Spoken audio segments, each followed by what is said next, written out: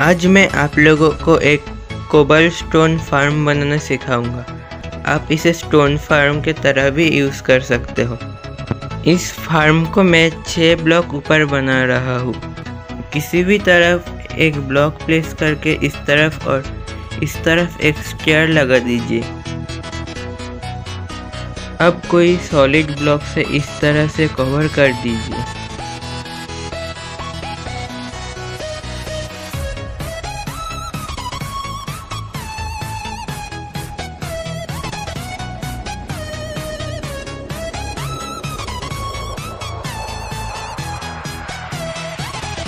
अब पिस्टन लगाने के लिए यहाँ पर दो ब्लॉक लगाए और इस तरफ़ फेस करके दो पिस्टन लगाए। यहाँ पर और यहाँ पर एक ब्लॉक लगा दीजिए जिससे पानी बाहर ना गिरे। अब ऊपर की तरह दो बकेट लगा डालिए, एक बकेट से भी कम चल जाता है। और पानी रोकने के लिए ब्लॉक लगाए। अब पीछे के साइड एक क्लॉक बना लीजिए। और इससे पिस्टन को कनेक्ट कर दीजिए। यहाँ पर एक लीवर लगा है क्लॉक को ऑन ऑफ़ करने के लिए। अब देख सकते हो, स्टोन आगे आना स्टार्ट हो गया है। मैंने और एक बल्ब थी लावा डाल दिया। पूरा आगे आने के बाद जहाँ पर ये रुका है उसका एक और दो ब्लॉक आगे से एक बाउंड्री बना दीजिए।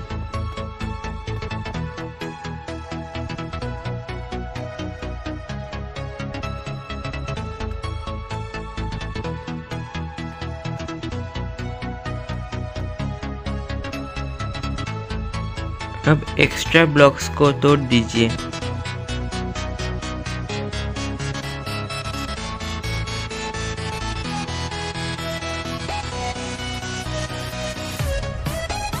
अब यहाँ पर दोनों कॉर्नर पे कुछ ऐसा शेप बनाए जिससे पानी आगे तक जाए।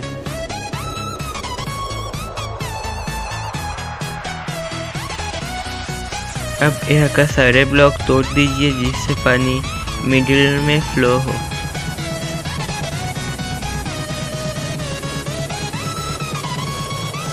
अब यहाँ पर एक छेद करके नीचे कलेक्शन एरिया बना दीजिए।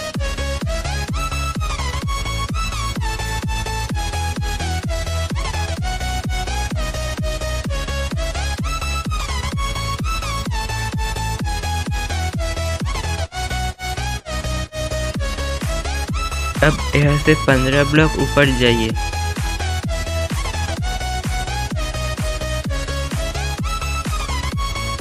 अब यहाँ एक डिस्पेंसर लगाए टी के लिए, क्योंकि पॉकेट एडिशन में टी ग्रुप पर नहीं बनता।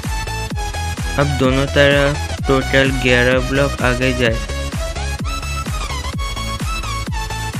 और यहाँ पर टोटल सत्रह रिपीटर लगेगा।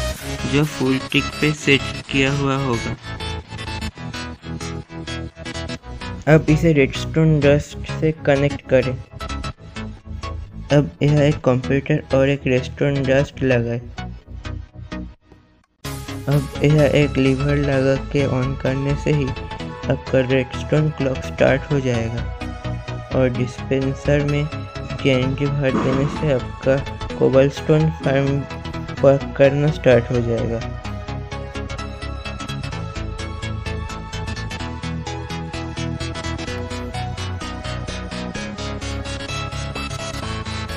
एक स्टेप की एंटी से मुझे टोटल इतने कवर्स पेन मिले। लीवर को ऑफ़ करने से ये टी जू पर भी ऑफ़ हो जाएगा।